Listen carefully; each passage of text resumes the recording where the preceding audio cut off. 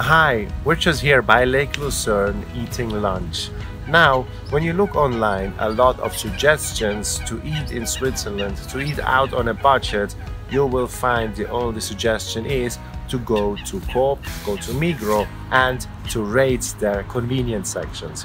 And we're not all against that. Under certain circumstances, you should do that. But here are a few more tips on how to eat cheap and delicious in Switzerland. So our first tip is going to bakeries.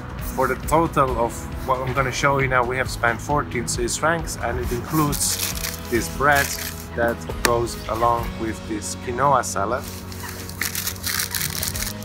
we have got a Ziegerkrapfe, which basically is deep fried and it's filled with a sort of, uh, it's a Swiss thing, it's called Ziger. Uh, it's a cheese basically made with whey. Now, if you're going to bakeries and you do not like sandwiches and savory stuff, at least go for the sweet things because they're absolutely delicious. And a real meal is a sandwich. Uh, it's filled with turkey breast. This costs about 6 Swiss francs. And you tell me now that this bread looks like something you could do yourself. And you're absolutely right, you can. And off we go to our second tip. We see a lot of tourists going to Migros, buying bread, buying cheese, buying dry meat, buying some tomatoes, and sitting by the lake. Now, what a lot of you think you're doing is the ultimate budget version, but in fact you're eating an authentic Swiss meal. Um, back in the day Swiss people were very poor and this was uh, one way to eat uh, dinner for example. There's even a word for it in German. It's called Abendbrot and basically it means evening bread okay? So bread was consisting in the evening for dinner. So here we come to the convenience section of Migros and Coop and the sorts. You could buy it but let's if you compare it to a bakery at normal prices you will get much less for your money so what you can do is maybe an hour to half an hour before the shops close you can go inside and they will put a 50% off sticker on those items that have need to go for the day and you can purchase it them which I think then they're actually accurately priced.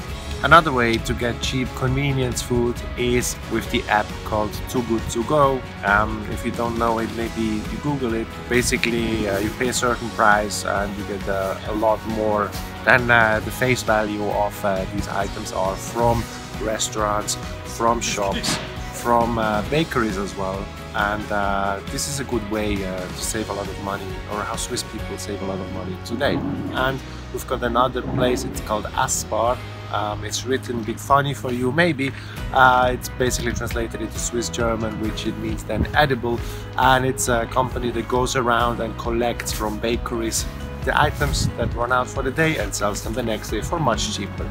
But then you think, I come all the way to Switzerland, I do not want to eat all this discount food all the time, I want to go to a restaurant. And of course you can, there are plenty options for you as well um, we recommend that if you like this everything we mentioned before the Abendbrot, the evening bread type style food you do it in the evening. If you go to a restaurant go for lunch because the lunch menus you get away a lot of the times for two people uh, maybe for 30 Swiss francs including a drink and a two course meal.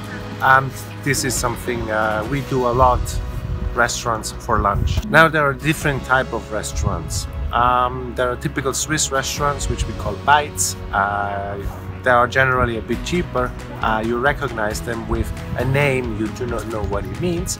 They're usually very heavily advertised with, uh, for example, Coke or, or beer companies or, or anything else. Uh, they're also a bit dated very, very often, so it might look a bit bad for you, but actually it isn't. Uh, it's absolutely perfectly good food. I wouldn't say there's any bad food in, in Switzerland, to be fair with you, uh, at least quality wise. Another dish you need to try in Switzerland, which is cheap as well, is called Döner Kebab. Um, you find it everywhere in Europe, it's usually there, it's very cheap and it's got a bad reputation. I can assure you in Switzerland it doesn't. Uh, there's about two or three larger meat manufacturers when it comes to that and uh, you can really nothing do much wrong with that and usually you'll get away for a dinner for under 10 Swiss francs.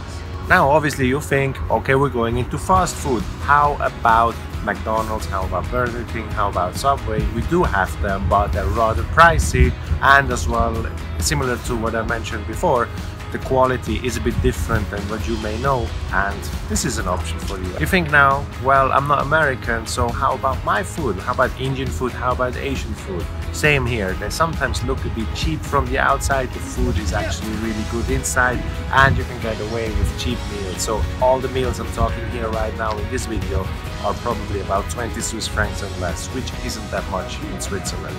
So this is one way and if you go up to them and talk in your native language to them they go in the back and get the authentic ingredients get the authentic spices just for you to make you feel at home